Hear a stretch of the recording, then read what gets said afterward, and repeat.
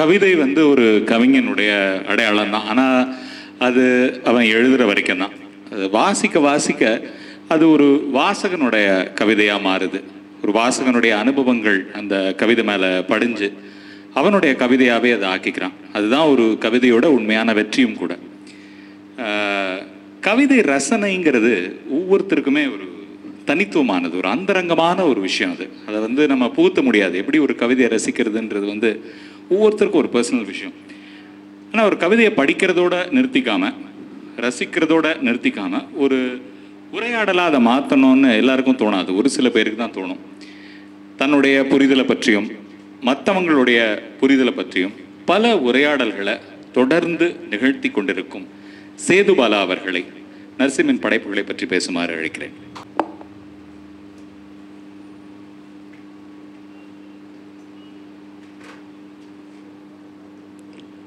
எங்கோ வாழிய குடுமி தங்கோ சென்னீர் பசும்பொன் வயிறியர்க்கு ஈத்த முன்னீர் விழவின் நெடியோன் நன்னீர் பகுழி மணலினும் பலவே. இந்த பாடலை சொல்லி தொடங்கினதுக்கு ஒரு காரணம் இருக்குது அண்ணனுக்கு தெரியும். அடுத்த படைப்பு வந்து பஹ்ருழி அப்படின்ற தலைப்பில் உருவாக்கிட்டு இருக்குது. அந்த தலைப்புக்கு வாழ்த்துக்களை சொல்லி இந்த பாடல் வந்து புறநானூற்று தொகுப்பில் நெட்டிமையார் பாடிய பாண்டியன் பல்யாக சாலை முதுகுடுமி பெருவழுதிய பாடிய ஒரு பாடல். எம்முடைய வேந்தனாகிய குடுமி வாழ்வானாகிய தம்முடைய கோவாகிய சிவந்த நீர்மையுடைய போக்கற்ற பசியே பசிய பொன்னை கூத்தற்கு வழங்கிய முன்னீர் கடல் தெய்வத்திற்கு எடுத்த விழாவையுடைய நெடியோனால் உழதாக்கப்பட்ட நல்ல நீரையுடைய பஹ்ருழி என்னும் ஆறு. அந்த ஆற்றின் மணல் அந்த ஆற்றில் வந்து எவ்வளவு மணல் இருக்குமோ அந்த மணலை விட பல காலம் பல்லாண்டு வாழணும் அப்படின்ற மாதிரி வாழ்த்துற ஒரு பாடல். பகிர்வழி என்னும் படைப்பு அத்தகைய வெற்றியை பெறுவதற்காக இந்த பாடலை சொல்லி என் உரையை தொடங்குகிறேன். எழுத்தாளர் ச. தமிழ்ச்செல்வன் ஐயா அவர்களுக்கும் எழுத்தாளர் சுப்பிரமணியன் ரமேஷ் அவர்களுக்கும் கவிஞர் மனுஷி அவர்களுக்கும் கவிஞர் நேசமித்திரன் அவர்களுக்கும் எழுத்தாளர் சுகுணா திவாகர் அவர்களுக்கும் கவிஞர் குகைமா புகழேந்தி அவர்களுக்கும் என் வணக்கத்தை சொல்லிக்கொண்டு அன்புடைய அன்பிற்குரிய நரசிம்மன்னனுக்கும் உடன் வரும் ஊக்குவிக்கும் என் போன்ற வாசகர்கள் உங்கள் அனைவருக்கும் என் வணக்கத்தை சொல்லிக்கொண்டு எப்பயுமே ஒரு முன்னாடிலாம் ஒரு நூல் செய்ய போகும்போது அவையடக்கம் அப்படின்னு சொல்லி ஒன்று எழுதுவாங்க. ஒரு செய்யுள் தனியாகவே எழுதுவாங்க. அந்த மாதிரி மேடை பேச்சாளர் எழுத்தாளர் மற்றும் நிகழ்ச்சி தொகுப்பாளர் கோபிநாத் வந்து ஒன்று சொல்லுவார். பேச்சாளர்களுக்கு. நீங்கள் பேசுகிற அந்த ஒரு மணி நேரம் வந்து உங்களுடைய ஒரு மணி நேரம் மட்டும் கிடையாது. எத்தனை பேர் கேட்குறாங்களோ அந்த அத்தனை பேருடைய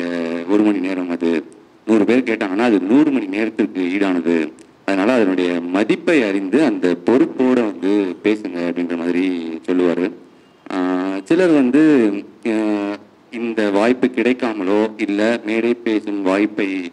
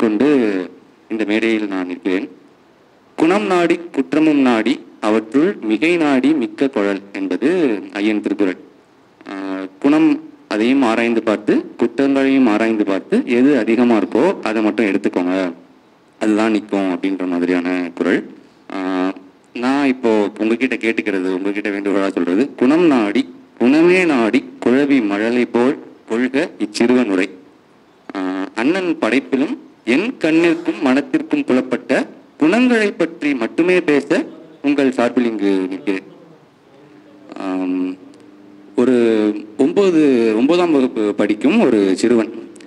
பள்ளியில் வந்து கவிதை போட்டி வைக்கிறாங்க.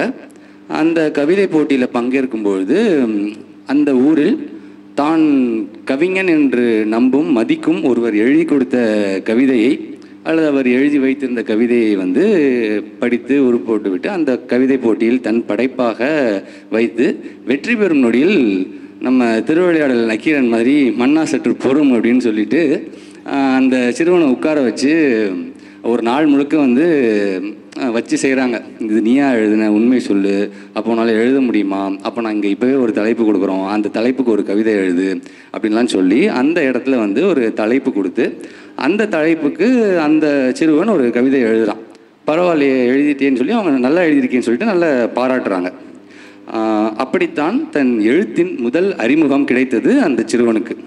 அடுத்ததாக ரெண்டாயிரத்தி ஒன்றில் ஒரு சிறுகதை எழுதி விகடனுக்கு அனுப்பிட்டு காத்திருக்கும்போது அந்த கதை வந்து அச்சேராம தொடர்ந்து முயல்க என்ற கடிதத்தோடு நிற்க அதன் பிறகு சிறிது காலம் தன் மதிப்பிற்குரிய காசி அண்ணன் அவர்களின் தமிழ் மனம் எனும் தளத்தை பயிற்சி தளமாக பயன்படுத்தி கொண்டு பிறகு சில ஆண்டு கழித்து இரண்டாயிரத்தி ஏழில் மீண்டும் ஒரு காதல் கதை என்ற சிறுகதை முதல் சிறுகதை எழுதி அந்த முதல் கதையே விகடனில் வழியாக இப்படியாக பறக்க விரும்பிய அந்த பறவைக்கு எற்றைக்குமான முதல் சிறகு முளைத்தது. பறவை பறப்பது இறை தேடுவதற்காக மட்டுமன்று பறத்தலின் பரவசத்திற்காகவும் இருக்கலாம் என்ற அவரின் சொற்களாலேயே அதை சொல்கிறேன். என்னை பொறுத்த மட்டில் அவர் எழுதுவது இரண்டு காரணங்களுக்காக. ஒன்று தனக்காக தன் மன நிறைவுக்காக எழுதுகிறார். மற்றொன்று சற்றைக்கென்றாலும் எற்றைக்குமான இவ்விறக்கைகள் கொண்டு பறப்பதற்காக எழுதுகிறார். எழுதும்போது தனக்காக எழுதுகிறார். தனக்கு நிறைவு தராத எதையும் அவர் எழுதுவதில்லை. எழுதி முடித்த பின் அல்லது ஒரு படைப்பின் பின் தொடர்ந்து எழுத தொடர்ந்து இயங்க அந்த பறவை தொடர்ந்து பறக்க இறக்கைகள் உந்துவது போல தொடர்ந்து எழுத எம் மன்னனுக்கு எற்றைக்குமான வாசகனின் நயப்பு என்னும் இறக்கை உந்துகிறது. எழுதியதை அந்த நொடியில் மறக்கும் சில வெகு சில வளர் எழுத்தாளர்களுக்கு இடையில் எழுதி ஆண்டுகள் சில சென்ற பின்னும் எழுதியதை மறவா எழுத்தாளர் அண்ணன் நரசிம். ட்விட்டரில் பைத்தியக்காலம் அந்த சிறுகதைக்கு ஒரு கீவழி நடத்தினோம். அந்த கீவழி எ- எங்களுடைய கீவழி வந்து எப்படி ஒரு வடிவம் இருக்கும்னா கீவழி தொடங்கும் போது முதல்ல அந்த கதையை சொல்லுவோம். கதையை சுருக்கத்தை சொல்லுவோம். இல்லை கதையை படித்து காட்டுவோம் நேரத்தை பொறுத்து. அதுக்கப்புறம் அந்த கதையை தொடு கதையை பற்றி அவரவர் கருத்துக்களை பேச ஆரம்பிப்போம். அதை அலச தொடங்குவோம். அப்படியே பண்ணிகிட்ருப்போம் இருப்போம். அப்போது இடையில வந்து அண்ணன் அண்ணன் வர சொல்லி கூப்பிட்டுருந்தோம். வந்து பேசுனாங்க. அப்போது முதல்ல கதை சொன்னதில் பாதி கதை நான் சொல்லியிருந்தேன். அப்படி இருக்காது. அந்த பைத்தியக்காலம்ன்ற கதை படிச்சிருக்கவங்களுக்கு தெரியும். அப்படி எழுதியிருக்க மாட்டேன்னு நினைக்கிறேன். அந்த பைத்தியம் வந்து எப்பவும் அவனை பார்த்து ஓடுறவன். அவன் கண்ணை பார்த்து நிற்பான் அன்னைக்கு அப்படி தான் எழுதியிருப்பேன். அப்படின்னு ஆண்டுகள் கழிந்த பின்னும் எப்படி அந்த ஒரு இடத்த வந்து நினைவு கூர்ந்து சொல்ல முடியுது அப்படின்றது அன்னைக்கு வியப்பாக இருந்துச்சு. கேட்டேன் நான் இது எப்படி முடியுது? எப்படி நினைவு வச்சுருக்கீங்க? ஏன்னா நான் ரெண்டு மூணு பேர்கிட்ட கேட்டிருக்கிறேன். அவங்க வந்து தெரியல தம்பி அது அந்த நேரத்தில் எழுதுனேன் வந்துச்சு அப்படின்ற மாதிரி சொல்லியிருக்காங்களே இது எப்படி உங்களால் முடியுதுன்னு கேட்குறப்போ இல்லை அந்த கதாபாத்திரம் அப்படித்தான் வடிவமைக்கப்பட்டிருக்கும். அந்த அந்த கதையும் அப்படி தான் வடிவமைப்பட்டிருக்கும். அப்படி எழுதினா தான் உங்களால் அந்த படைப்பு வந்து முழுமையாகும். இதை மனசில் வச்சு தான் நான் அதை எழுதினேன் அப்படி சொல்லிட்டு தன்னுடைய எழுதும் முறையை வந்து விளக்கினார் அன்றைய கீவழியில் அன்றைய கீவழியிலே இன்னொன்று அந்த குன்னாங்குன்னாங்கூர் கதையை பற்றியும் சொன்னார். அந்த கதை பைத்தியக்காலம் குன்னாங்குன்னாங்கூர் இந்த ரெண்டுத்துக்கும் ஒரு தொடர்பையும் காட்டி கொடுத்தாரு. என்ன அப்படின்னா பைத்தியங்களை வந்து இந்த கதையை படிக்கும் வரை இந்த கீவழிக்கு முன் வரை நான் வந்து பைத்தியங்களை நமக்கு சமநிலையில் வைக்காமல் ஒரு கீழ்நிலையில் தான் கருதி வந்தேன். ஆனால் அன்னைக்கு வந்து அண்ணன் சொன்ன ஒரு விளக்கம் அப்படி வைக்காதீங்க. ஒரு படி மேலே வைங்க.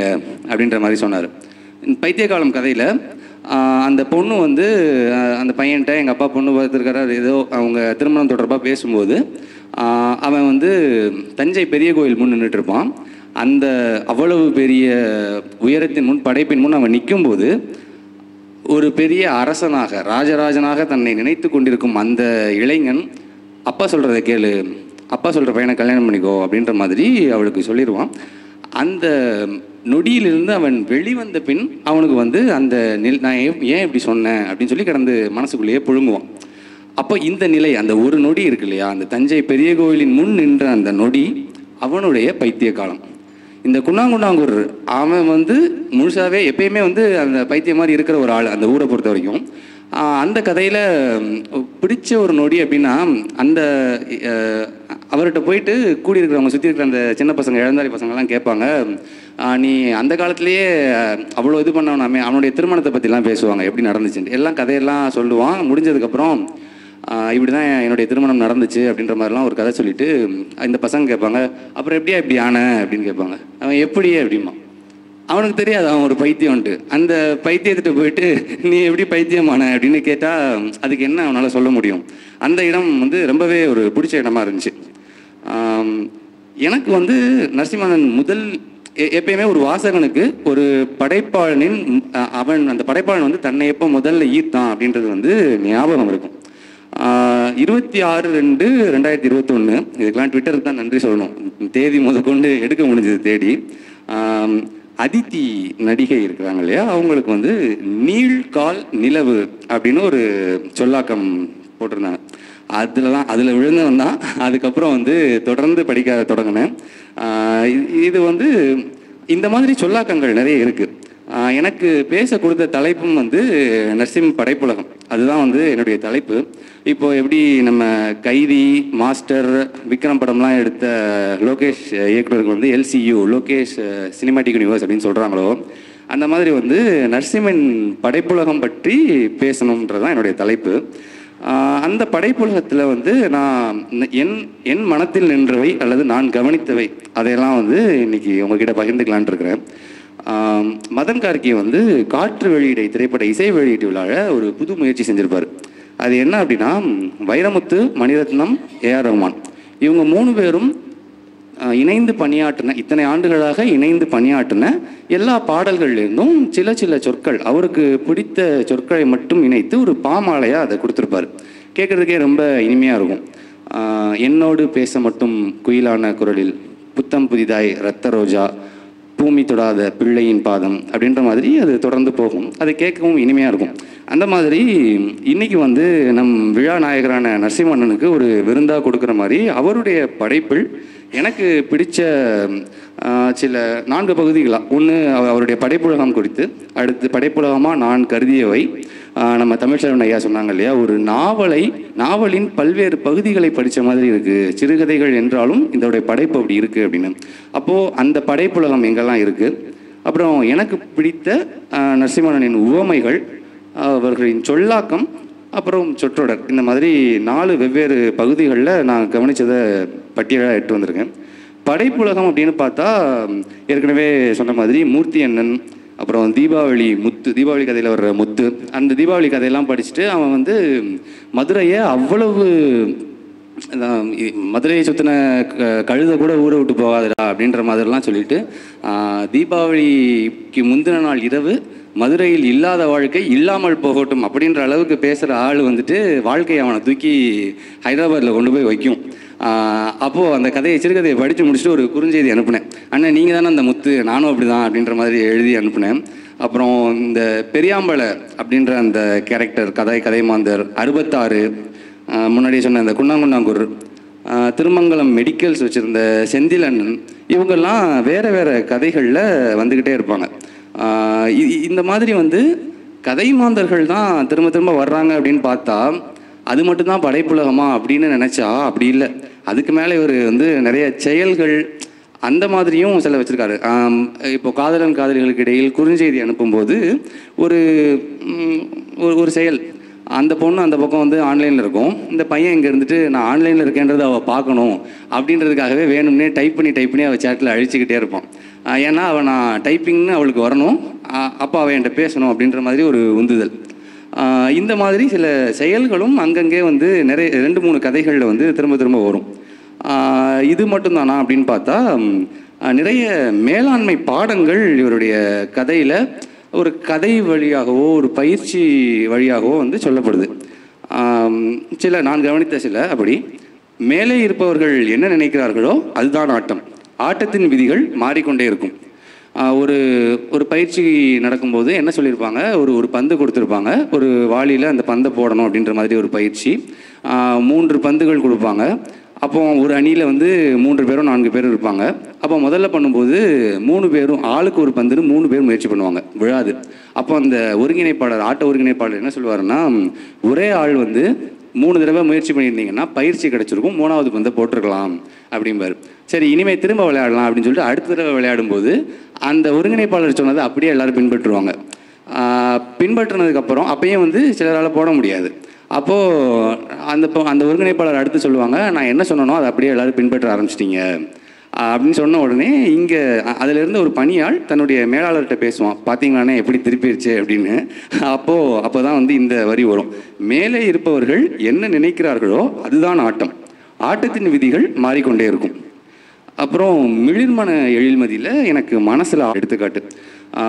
இரவில் காரில் போகும்போது அந்த ஹெட்லைட் வெளிச்சம் இருக்கு இல்லையா? அந்த வெளிச்சத்தை வச்சு தான் நம்ம வந்து முன்னாடி போவோம். ஆனால் அந்த ஹெட்லைட் வெளிச்சம் எவ்வளோ இருக்கும்? ஒரு பத்தடியோ இருபது அடியோ தான் இருக்கும். ஆனால் இந்த தூரத்தை வச்சு இந்த வெளிச்சத்தை வச்சே நம்ம வந்து இங்கேருந்து மதுரை வரைக்கும் போயிடலாம்ல அப்படின்ற ஒரு சான்று அது.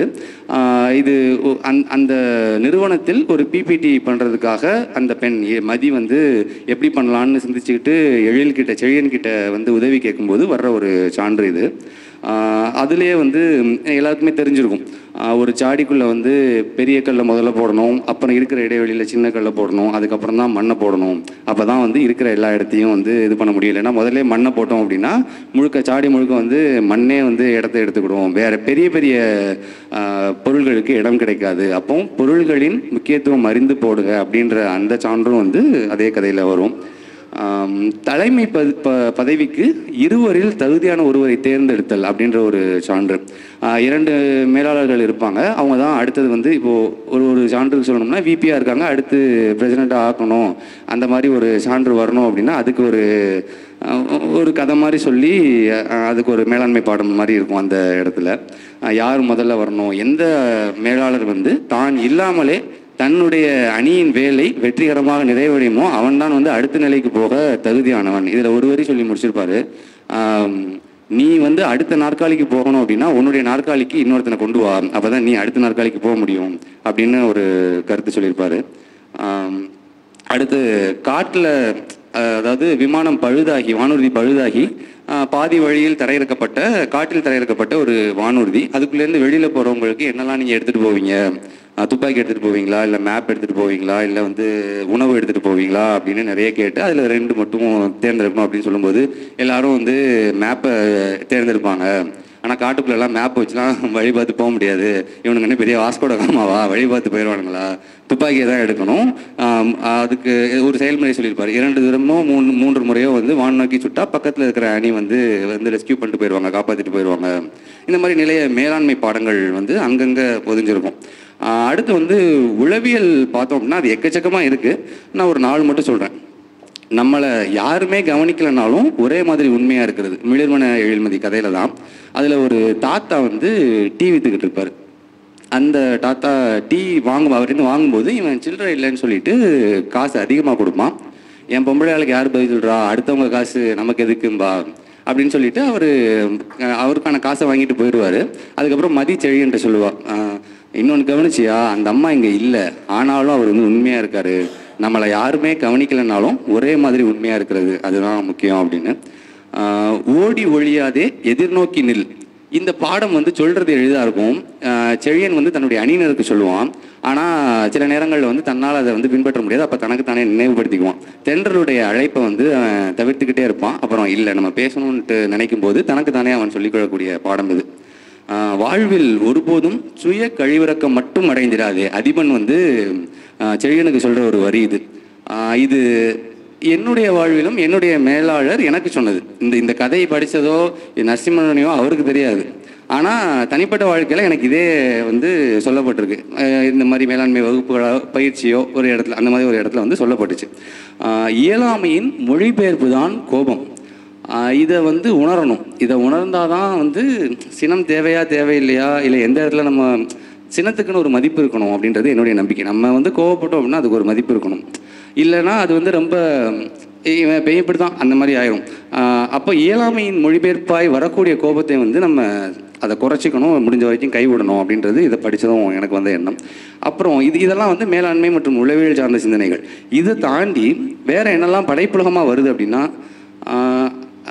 கடல் அப்பா அதிகாரம் கருப்பு நிறம் பாம்பு கண்ணீர். இதெல்லாமே வந்து அங்கங்கே அங்கே ஒரு படைப்பில் இருக்குது ஒரு கண்ணீரை ஒரு எழுத்தாளன் எத்தனை விதமாக சொல்ல முடியும் அப்படின்றதுக்கு ஒரு நாலு சான்று மிளிர்மணம் அதுலேருந்து அப்போதும் அவள் கண்ணிலிருந்து என்னொடியிலும் எட்டி பார்க்க தயாராய் முட்டி நின்றது நீர்முத்து.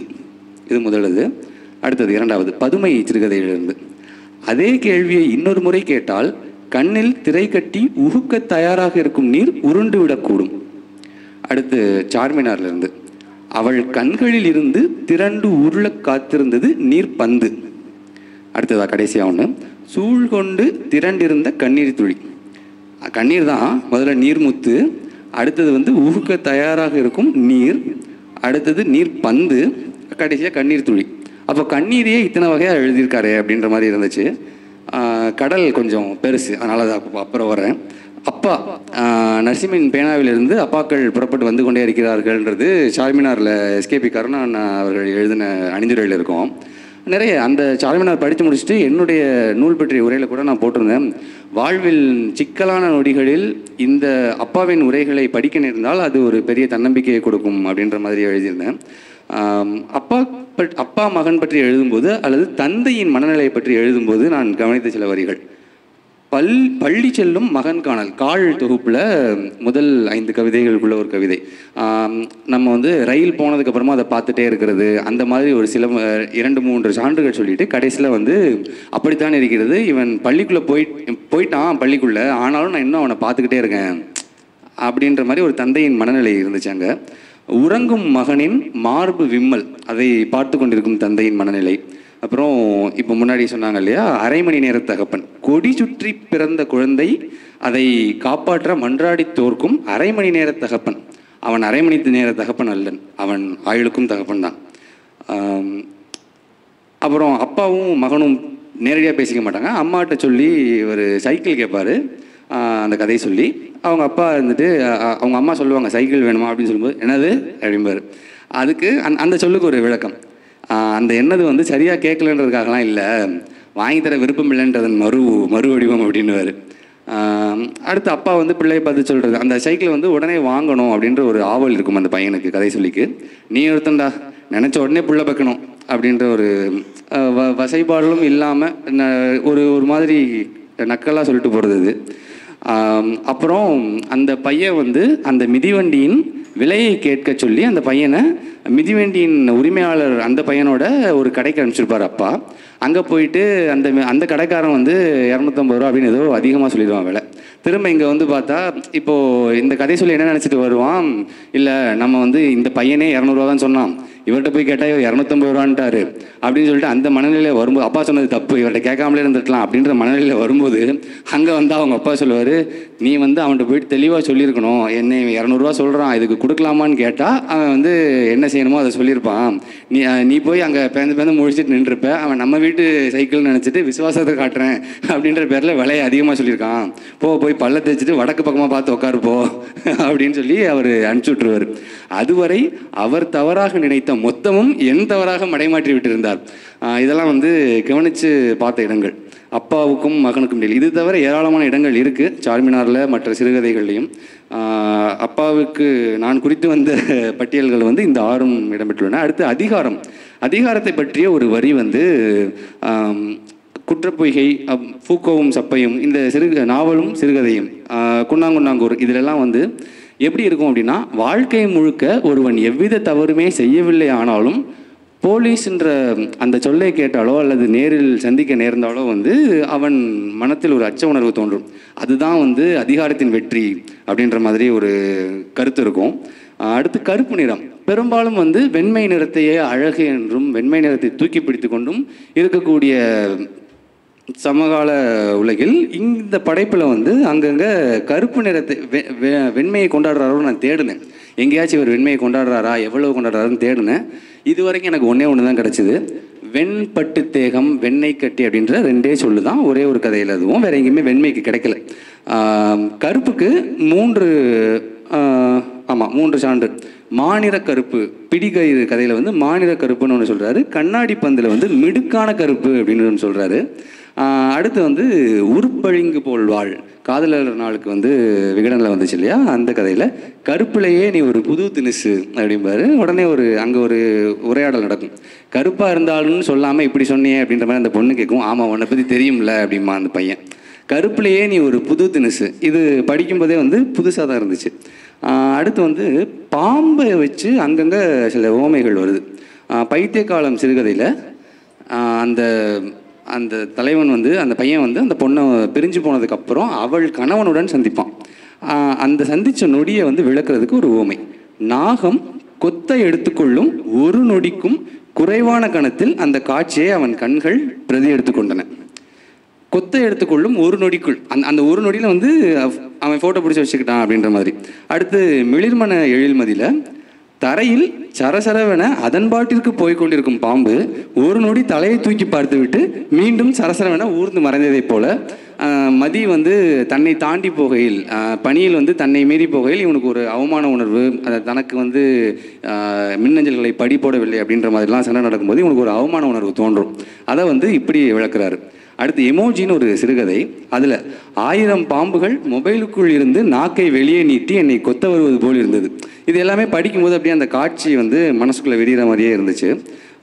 அடுத்து இப்படி பண்ணுவாங்கல்ல கொணட்டுறது அப்படிம்போம். அதை வந்து ரெண்டு இடத்துல கொமட்டை தன் தோள்பட்டையில் தட்டி கொண்டாள்னு ஒரு இடத்துலையும் தாவாக்கட்டையை தோளில் அடித்து திரும்பிக்கிட்டார் அப்படின்னு ஒரே செயல். கண்ணீருக்கு எப்படி வேறு வேறு மாதிரி சொன்னாரோ அதே மாதிரி இந்த ஒரு செயலையும் வேறு வேறு சொற்களில் எழுதியிருக்கிறார் எழுதியிருக்கிறாரு.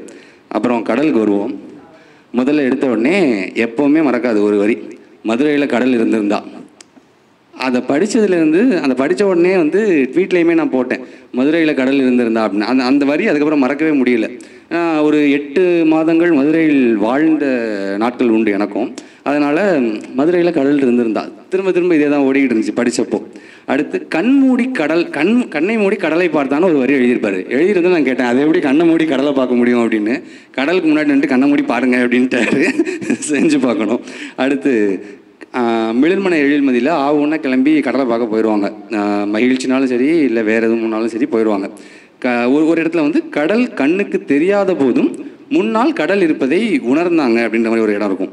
அப்புறம் கடலின் மூ வண்ணங்கள் குறித்து எழுதியிருப்பார். முதல் கொஞ்ச தொலைவு வந்து இப்படி இருக்குது அதுக்கடுத்து இடைப்பட்ட தொலைவு இப்படி இருக்குது அதுக்கடுத்து பின்னாடி வந்து வேறு நிறத்தில் இருக்குது அப்படின்ற மாதிரி மூ வண்ணத்தை காட்டுறது.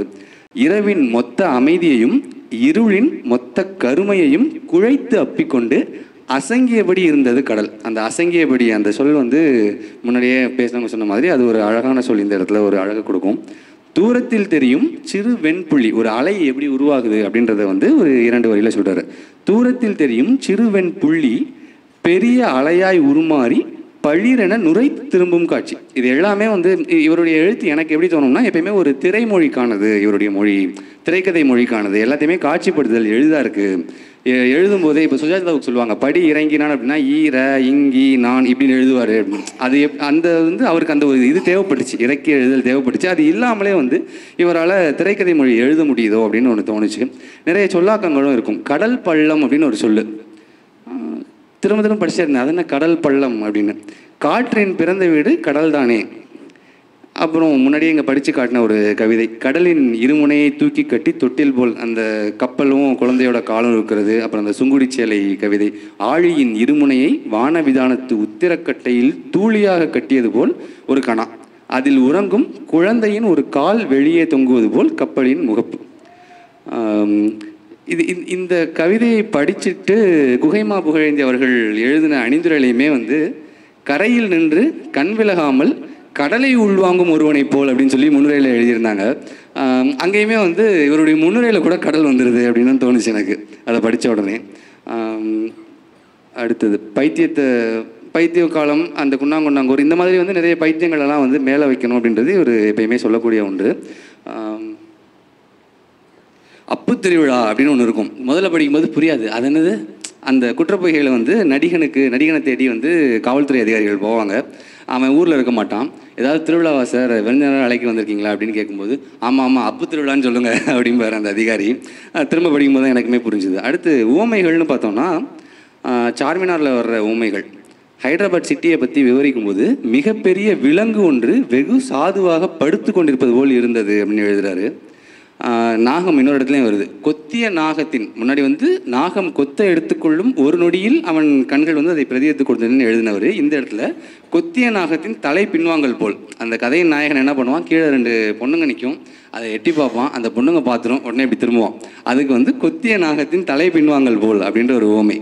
அடுத்து அதுக்கப்புறம் திரும்ப மெல்ல ஓட்டுக்குள் இருந்து தலை நீட்டும் ஆமை போல் மெல்ல எட்டி திரும்ப பார்க்குறாங்களா அப்படின்னு பார்க்குற அந்த ஒரு ஓமை. நாள்பட்ட புண்ணின் பொக்கு உடைவது போல். இதெல்லாம் வந்து ஊமையாக சிந்தித்து எழுத முடியுமா அப்படின்னு இருந்துச்சு. அடுத்து எஸ்கேபி கருணாநாதன் அவர்கள் வந்து சார்மினாருடைய முன்னுரையில் ஒரு ஊமையை குறிப்பிட்டு சொல்லியிருப்பாங்க. பிறந்த குழந்தை பால் குடிக்க உறிஞ்சதில் வந்து எப்படி அதுக்கு யாருக்குமே கற்றுக் கொடுக்காம அது செய்யுதோ அதே மாதிரி லிஃப்ட்டுக்குள்ளே நுழைஞ்ச உடனே எல்லாருமே வந்து அமைதியாயிரும் அப்படின்றது. எனக்கு இந்த அரங்கத்தை பார்த்தாலும் எனக்கு அதுதான் நினைவுக்கு வருது உள்ளே வந்தோடனே வந்து யாருமே அமைதியாக இருக்கணும்லாம் சொல்கிறது இல்லை ஆனாலுமே நம்ம அமைதியாக இருக்கோம். அடுத்து வந்து விறகு கட்டையால் முதுகு சொரிதல்னு ஒரு ஓமை எழுதியிருப்பார். அடுத்து மிளிர்மன எழில்மதியில் விடுற ஓமைகள். உணவு பொட்டலை நூல் கழற்றல் போல் உணவு பொட்டலத்தை சுற்றி இருக்கிற நூலை வந்து எப்படி கழட்டுவோமோ அந்த மாதிரி வந்து செழியன் வந்து தான் இதுவரைக்கும் கற்றிருந்த மேலாண்மை பாடல்கள் பாடங்களை கொஞ்சம் கொஞ்சமாக வந்து பக்குவத்தை முதிர்ச்சியை வந்து கொஞ்சம் கொஞ்சமாக கழட்டலாம் அப்படின்ற மாதிரி அந்த ஓமை வரும். அறைக்குள் மின் விளக்கை போடுதல் டியூப்லைட்டை போடுறது இதுக்கு ஒரு ஓமை. மின்னல் வெட்டி வெட்டி பின் நிலா நிலை கொண்டது போல். டியூப்லைட் போட்ட எப்படி எரியும்? கொஞ்சம் பளிச்சு பளிச்சுன்னு விட்டு விட்டு எரிஞ்சிட்டு அதுக்கப்புறம் அப்படியே முழு வெளிச்சமும் வரும். அதுக்கு எழுதுறாரு மின்னல் வெட்டி வெட்டி பின் நிலா நிலை கொண்டது போல் அப்படின்னு ஒரு ஓமை. சென்னையின் அதிகாலைக்கு குழந்தையின் உறக்கச் சிரிப்பை உறங்கும்போது ஒரு குழந்தை சிரிச்சா எப்படி இருக்குமோ அதை வந்து சென்னையின் அதிகாலைக்கு ஓமையாக சொல்கிறாரு அப்புறம் ஒரு உளவியல் உண்மையையும் சொல்கிறாரு அதே ஓமையாகவும் பயன்படுத்துகிறாரு ஒரு வெற்றி கொடுக்கும் உற்சாகம் போல் எதுவும் இல்லை அது வந்து உண்மை.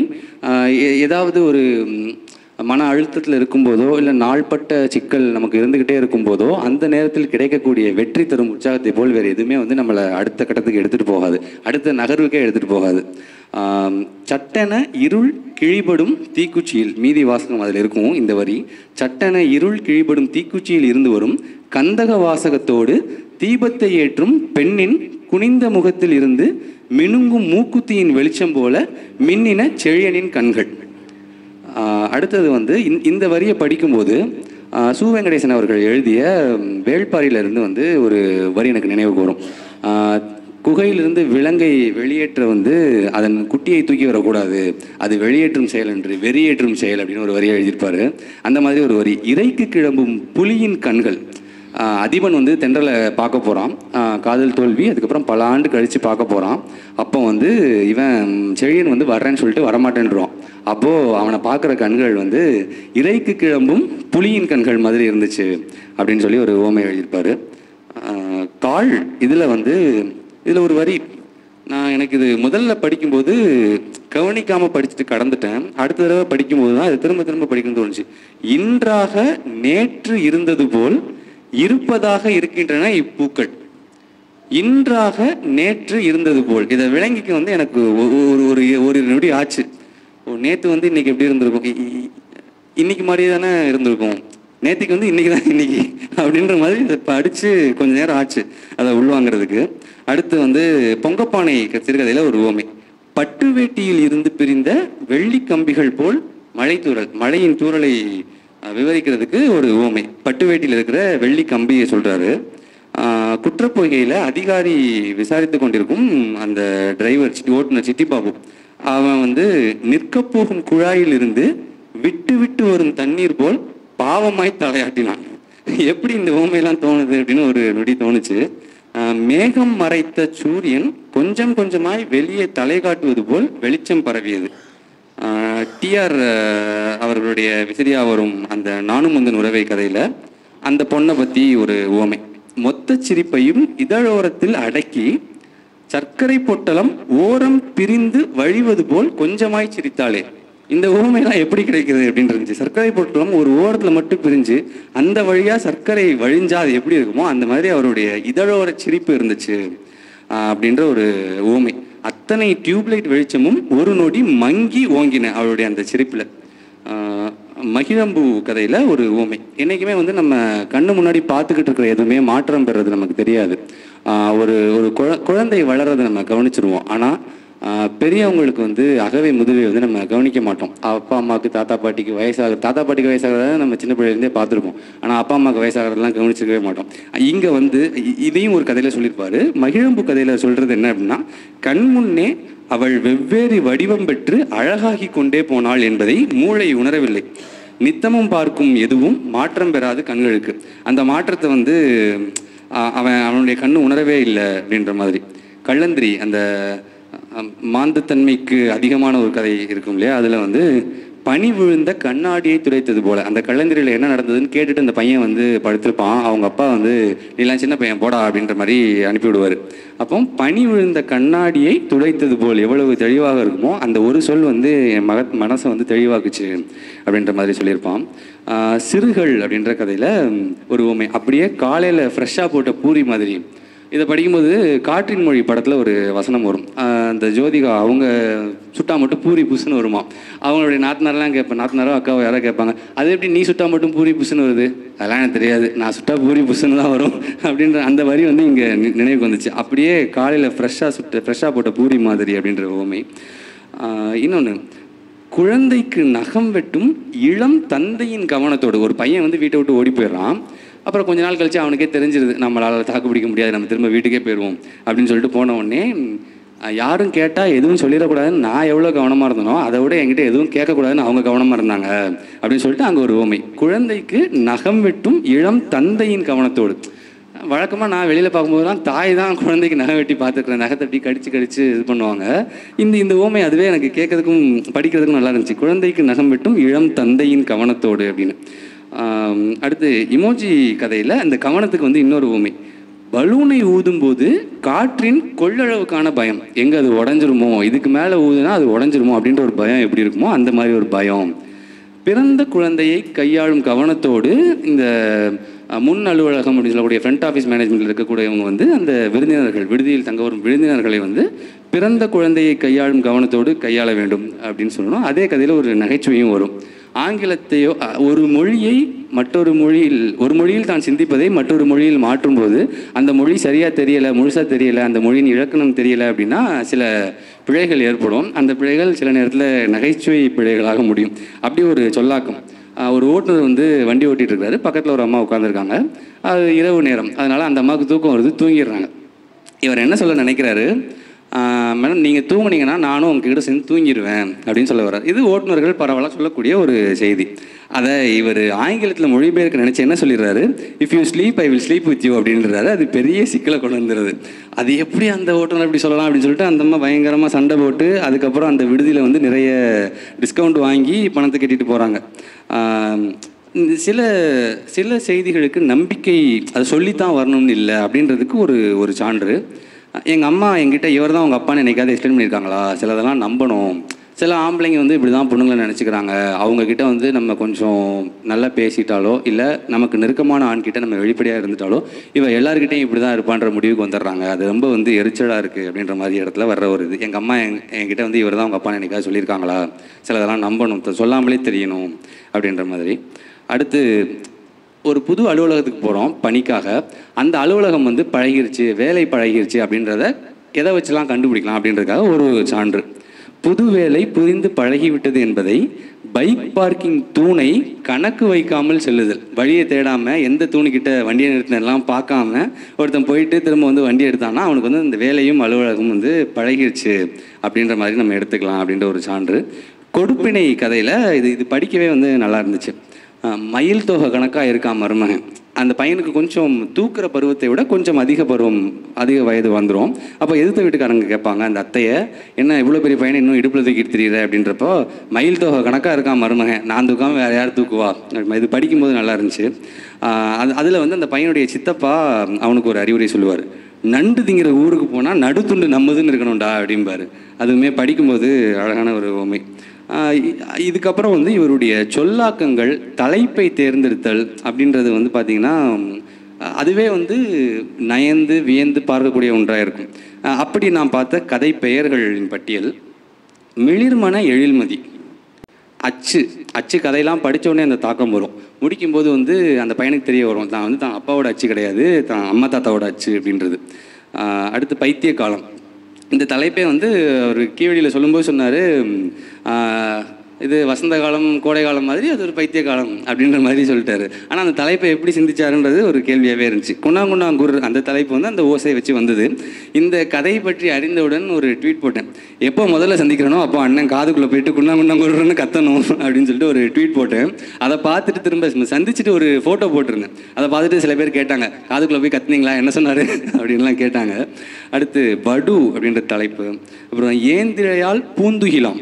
அந்த தலைப்பு வந்து கதையிலையும் வரும். கதையோடு ஒட்டியே சில தலைப்புகள் இருக்கும். அந்த கதைக்குள்ளேயும் அந்த தலைப்புகள் இருக்கும். நிகழ்ந்தாய் முகிழ்ந்தேன்.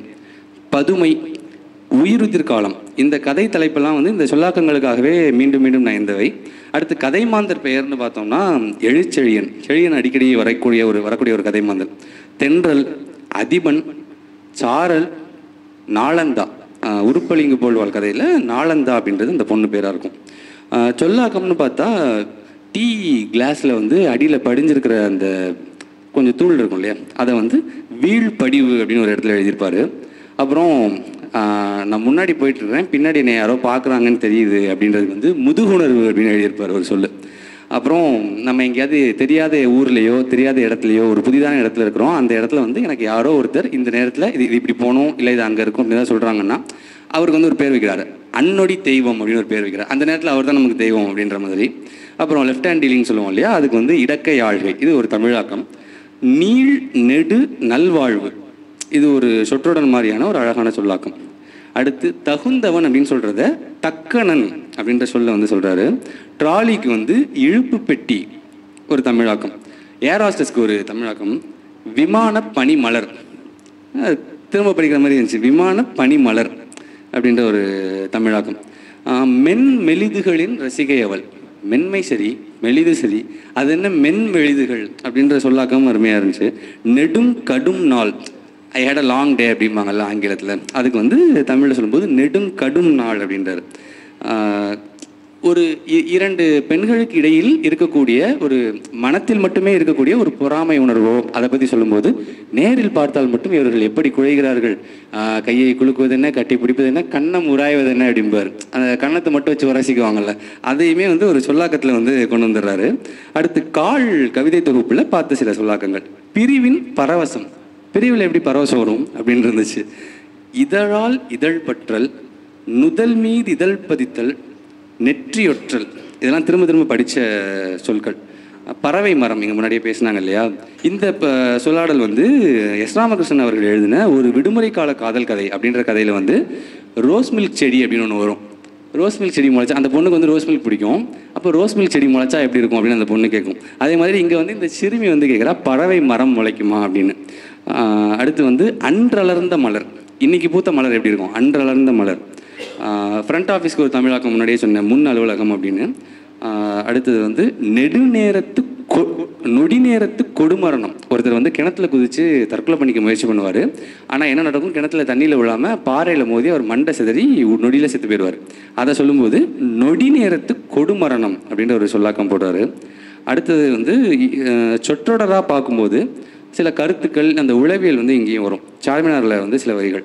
அந்தரங்கம் துருவாத நட்பே நிலைக்கும். ரொம்ப போட்டு நோண்டக்கூடாது. நண்பர்களுக்கெல்லாம் தெரியும் நம்ம கூட இருக்கிறவங்களுக்குலாம் நம்ம என்ன பண்ணுறோன்றதெல்லாம் சொல்லாமலே தெரியும். ஆனால் அதை வந்து துருவி துருவி கேட்க மாட்டாங்க சிலர். அந்த மாதிரி நட்பு தான் நிலைக்கும் அப்படின்ற மாதிரி ஒரு வரி. சிலருக்கு அந்த மாதிரி நண்பர்கள்கிட்ட வந்து எங்கே விட்டோமோ அங்கேருந்தே தான் தொடங்குவோம். ஒரு ரெண்டு மாதத்துக்கு முன்னாடி பேசியிருப்போம். ஆனால் திரும்ப பேசும்போது வந்து எங்கே போனேன் என்ன செஞ்சேன் எவ்வளோ நாள் ஆளே காணோம் அதெல்லாம் இருக்காது. அந்த குசலம் விசாரிக்கிறதுலாம் இருக்கவே இருக்காது. நேரடியாக என்ன மாப்பிள்ள சாப்பிட்டியா? என்ன பண்ணுற அடுத்து எங்கே போகிற அந்த மாதிரி போயிடும் அதை வந்து கோடிட்டு காமிச்சிருப்பார். சிலரிடம் எங்கு விட்டோமோ அங்கிருந்தே தொடங்குவோம் குசலம் விசாரிக்காமல் அப்படின்னு.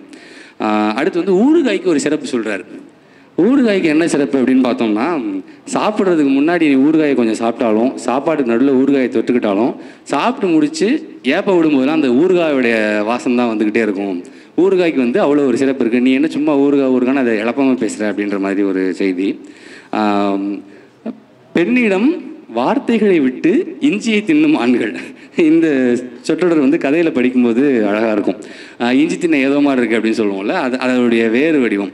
பெண்ணிடம் வார்த்தைகளை விட்டு இஞ்சியை தின்னும் ஆண்கள். ஏதாவது சொல்லிடுவான் அந்த பிள்ளை கோவப்பட்டுரும். அடுத்து இவனுக்கு என்ன பண்ணுன்னு தெரியாது. இஞ்சி தின்ன ஏதோ மாதிரி உட்காந்துருப்பான் அதுதான் வந்து பெண்ணிடம் வார்த்தைகளை விட்டு இஞ்சியை தின்னும் ஆண்கள். கடல் பயணத்தை பற்றி சொல்லும்போது நீரை பிரித்து முன்னேறும் பயணம் போல் ஏதுமில்லை கடல் பயணத்தை கடலை மட்டும் எவ்வளோ நேரம் இதுக்கு முன்னாடி பார்த்தோம். கடலில் செல்லும் பயணம் எப்படி இருக்கும் அப்படின்னா நீரை பிரித்து முன்னேறும் பயணம் போல் வேறு எதுவும் இல்லை அப்படின்றார். கிளை படர்ந்து விரியலாம் தான். ஆனால் நீண்டு படர்ந்து வேரை முறித்து கொள்ளலாகாது. அந்த கிளையின் அளவு எவ்வளவு இருக்க வேண்டும் அப்படின்ற மாதிரியான ஒரு சொல்லாடல் ஒரு சொற்றொடர். நம்ம ரொம்ப தூரம் தொலைஞ்சு நம்ம கிட்டத்தில் இருக்கும்போது பேசாத ஆட்கள் நெடுந்தூரம் தொலைஞ்சு போயிட்டோம்னா கொஞ்சம் அக்கறையை காட்ட ஆரம்பிப்பாங்க. கொஞ்சம் என்னப்பா எப்படி இருக்க? இல்லை சாப்பிட்டியா? அந்த மாதிரிலாம் கேட்குறது வந்து தொலைவில் தொலைந்தோம் எனில் மனிதர்கள் எவ்வளவு அருகில் வர நினைக்கிறார்கள்? புள்ளி வைத்துத்தான் கோலம் போட வேணும். அதற்காக கோலம் போட்டு முடித்த பிறகு புள்ளிகள் வந்து வெளியே தெரியக்கூடாது அப்படின்ற மாதிரி ஒரு உவமை. அடுத்தது வந்து மிளிர்மனை எழில்மதிலையும் சில சொற்கள். என்னை மிதித்து மேலேறு அப்படின்னு மைதானம் சொல்கிற மாதிரியான ஒரு இது. வாட்ஸ்அப் நோட்டிஃபிகேஷன் வந்து அது எப்படி இருக்கும்? ஒளியுடன் ஒளிர. அது டோனும் கேட்கும் அந்த நேரத்தில் ஸ்க்ரீனும் பிளிங்க் ஆகும். ஒளியுடன் ஒளிர அப்படின்ற ஒரு இது. அடுத்து இரவு முழுக்க தவம் கிடந்து ஒரு செடியின் முன்னர் நின்றிருந்தாலும் மொட்டு முகிழ்க்கும் அந்த நொடியை எப்படி காண முடியும்? மொட்டு மலர் அந்த நேரத்தை வந்து என்ன செஞ்சாலும் பார்க்க முடியாது அப்படின்ற மாதிரி. இந்த புருவத்தின் சிறுவெட்டு கூர்நாசி அப்படின்றதெல்லாம் அங்கங்கே இவருடைய கதைகளில் காணப்படக்கூடிய ஒன்று. ஆணின் சம்மதம் என்று இந்த உலகில் ஏதும் இல்லையா அப்படின்ற ஒரு ஆதங்கமும் வரும். அப்படியே ஸ்க்ரோல் பண்ணி கடகடன்னு முடிக்கலான்னு பார்த்தா இந்த வரி கண்ணில் பட்டுருது. ஸோ சொல்லி தான் ஆகணும் கண்கள் மினுங்கின அப்படின்றது வந்து மகிழ்ச்சிக்கு சொல்லுவாங்க. படத்துலலாம் கூட மகிழ்ச்சிக்கு தான் பார்த்துருப்போம். ஆனால் இவர் வந்து அழுகைக்கு சொல்லுவார். செழியன் ஒரு ஒரு கட்டத்தில் வந்து செழியனின் கண்கள் மினுங்கின அப்படின்னு எழுதுவார். அவன் வந்து அழுகிற நிலையில் இருப்பான். அழுகைக்கு எப்படி கண்கள் மினுங்கிறதை இவரால் சிந்திக்க முடிஞ்சது அப்படின்னு இருந்துச்சு. அந்த கதையின் நாயகிக்கு சொல்லும்போது அவர் அவரை அவளை வி- விவரிக்கும் போது முன்னாடியே வந்து அந்த நீல்கால் நிலவு சொன்னேன் இல்லையா? அவர் வந்து அதை அதித்திக்கு எழுதியிருந்தார். நான் அதை அப்படியே தபுக்கு எடுத்துக்கிட்டேன். அதுக்கு வச்சு ஒன்று எழுதுவார். தபுக்கு பொண்ணு மாதிரி இருக்கு அப்படின்ற மாதிரி எழுதுவார். அந்த ஊமையெல்லாம் வந்து நல்லா இருந்துச்சு. ஒரு ஒரு கவிதை நீ கோரிய நாணற்ற இந்நாட்களில் நலம்தானே அன்பே? பின்னாடி கை காட்டுறாரு அண்ணன். அவர் வந்து இந்த கவிதையை அவருக்கும் இதுக்கும் ஒரு தொடர்பு உண்டுன்னு வச்சுக்கோங்களேன். பயன்படுத்தியிருக்காரு. முதல் முதல்ல ஒரு நேர்காணல் நடத்தணும். அப்போவே இதை தான் வந்து அவர் சொன்னார். இந்த மாதிரி வந்து டிவியை ஆஃப் பண்ணும்போது என்ன நடக்கும்ன்றதுக்கு சொல்கிறாரு டிவி ஆஃப் பண்ணும்போது லைட் வந்து இப்படி குறுக்காக வந்து ஒரு புள்ளியில் போய் முடியும். அதுக்கு எழுதுறாரு வெளிச்சம் குறுக்காக வெட்டி புள்ளியாய் திரையில் ஒடிந்து மறைந்தது அப்படின்ற மாதிரி.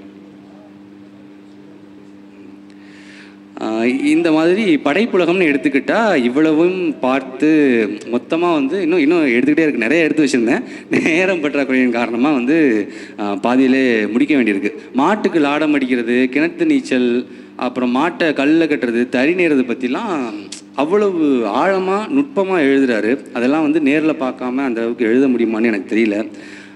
இத்தனை பேரும் பேசினதுக்கப்புறம் நம்ம என்ன பேச போகிறோம் இவ்வளோ அணிந்துரைகள் வந்ததுக்கப்புறம் நம்ம என்ன பேச போகிறோம் அப்படின்னு நினச்சி தான் இந்த ஒரு வடிவத்தை எடுத்துக்கிட்டேன்.